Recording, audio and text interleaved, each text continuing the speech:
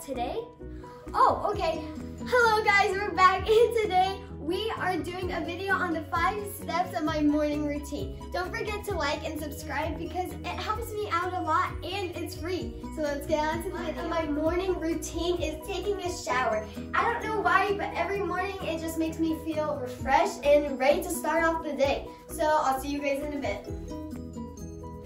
Whew, that was a nice shower. Step number two of my morning routine is brushing my teeth. Yes, I brush, brush my teeth because that wouldn't be very good for me because I don't want yellow teeth.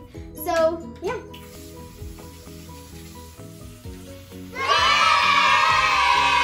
Step number three is to do my hair because my family has great hair. There's Savannah, Jonathan, Mom, well, Dad, he's salt and pepper. He has white and black hair, mostly white though, so mostly salt.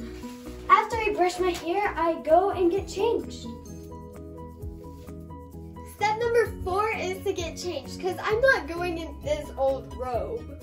Here we go. Ah!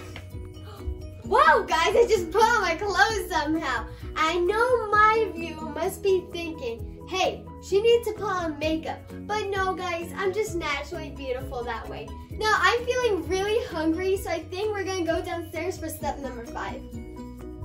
Step number five is I need to also feed my body and my soul. I have my little devotion, I have my cereal, and yeah, so that was my five steps of my normal morning routine. If you guys like this video, don't forget to subscribe, like the video, and share with your friends. Bye guys!